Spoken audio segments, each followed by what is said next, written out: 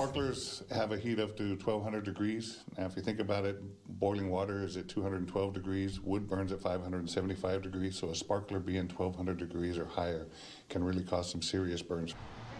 A safety reminder if you plan on handling fireworks tonight. Lieutenant Rich Stubbs with the Weslaco Fire Department says a majority of emergency calls they have handled over the years involve children. Stubbs breaks down some of the precautions. Uh, we want to make sure that we have an open area with a garden hose and a bucket. Don't try to reignite a firework that didn't work. Uh, if, it, if it doesn't work the first time, then put it in the bucket and get a new one and start again. You don't want to mess with them because they could still be uh, igniting slowly inside there and you don't want to blow up in your hand. And be sure to check if your city has ordinances prohibiting the use of fireworks before lighting up the skies tonight. Another reminder, law enforcement will be out in full force tonight looking for any drunk drivers. Authorities want everybody to be safe on the roads this New Year's.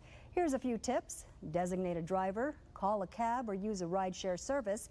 And here are some more options. AAA is offering to tow you home for free up to 10 miles starting tonight at 6. L&F Distributors in McAllen also teaming up with Lyft to offer $10 credit codes for passengers in McAllen and in Harlingen. A warning from law enforcement ahead of tonight's New Year's celebration. Police urge gun owners not to fire them into the air. Three years ago, Valley State Rep Armando Martinez was struck in the head by a stray bullet during a New Year's celebration in Weslaco. You saw the injury there. Well, coming up on Channel 5 News at 6, Martinez is going to tell us how he is trying to prevent someone else from becoming a victim of celebratory gunfire.